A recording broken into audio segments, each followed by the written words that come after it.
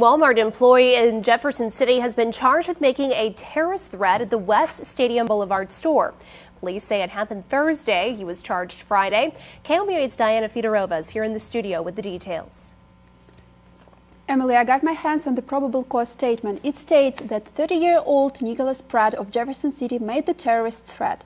I spent the day in the neighborhood where he lives you really don't know who your neighbors are. Mary Wood lives in the same neighborhood for more than 20 years, but she says she doesn't know her neighbors anymore. They come and go. Uh, everyone pretty well stays to themselves, you know. That's why she was surprised to find out the news she heard in the morning was about someone who lives so close. But the fact that he lives down the street from me well, I guess that that's a little alarming. On Thursday morning, Walmart employee Nicholas Pratte had a meeting with his supervisors regarding his recent drop in productivity. After the meeting, another employee overheard Pratte. He was agitated about the meeting, felt he had been targeted, and made a comment about getting a gun and shooting people. Jefferson City police were called and arrested Pratte and charged him with making a terroristic threat in the second degree. Yet, the news about this makes Pratte's neighbors feel less safe.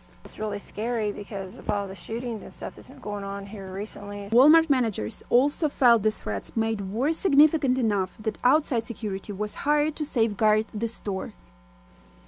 According to the probable cause statement, it's not the first time Pratte made a threat about mass shooting. Earlier this year, GCPD had to lock down Thomas Jefferson Middle School and Capital City High School in after Pratte made comments about shooting at school.